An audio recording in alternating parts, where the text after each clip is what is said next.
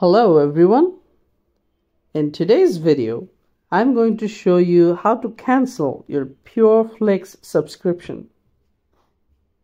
It's very easy and simple, so you can just do it if you follow the following steps. First, go to the PureFlix website and make sure you are signed in to your account.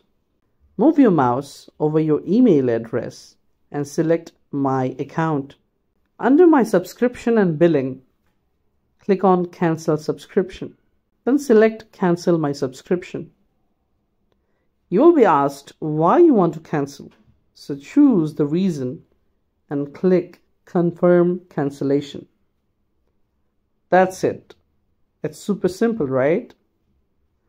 Thanks for watching this video. If you found this video helpful, please give it a thumbs up and don't forget to subscribe to our channel.